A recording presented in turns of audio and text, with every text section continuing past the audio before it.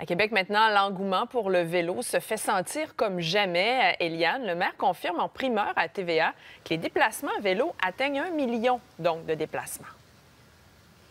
Oui, absolument. Et ce chiffre, Bruno Marchand l'entendait. Je vous remets en contexte. À Vélo, ça vu le jour il y a euh, quatre ans, initialement comme projet pilote, et depuis, ça ne cesse de prendre de l'expansion. La preuve ici, on se trouve devant des bornes et euh, plusieurs sont euh, déjà vides. Donc, Bruno Marchand s'était fixé cet objectif. Il s'était dit 1,1 million de déplacements pour cette année à atteindre en octobre. Et il est confiant de même dépasser ce chiffre, car il est déjà rendu à 330 000 de plus que l'an dernier.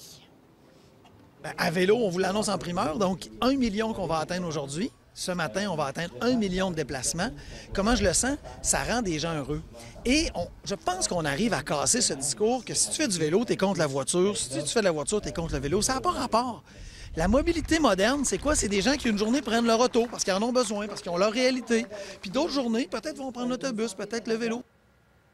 Et d'ailleurs, euh, l'engouement pour le vélo s'est fait ressentir euh, ce matin à la troisième édition de l'événement. Ça roule doc, donc euh, des professionnels de la santé de la population qui étaient invités à 10 heures à faire un parcours de 12 km. On voulait prouver ainsi que le parcours pour aller, donc 6 km, ça représente la distance moyenne des citoyens de la ville de Québec en vélo. On voulait montrer qu'il ne faut pas être un professionnel en sport pour pouvoir intégrer le vélo à son mode de vie, pour avoir des habitudes de vie saines. On peut entendre un professionnel à cet effet.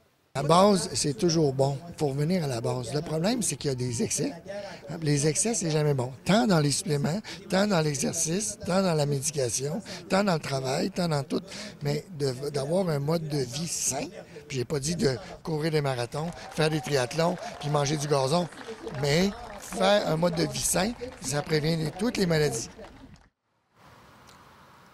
Et d'ailleurs, Bruno Marchand nous a fait part ce matin de son envie de rendre la ville de Québec encore plus accessible aux vélos, notamment avec l'expansion des à donc plus de bornes à venir dans la ville de Québec dans les prochaines années. Merci, Eliane.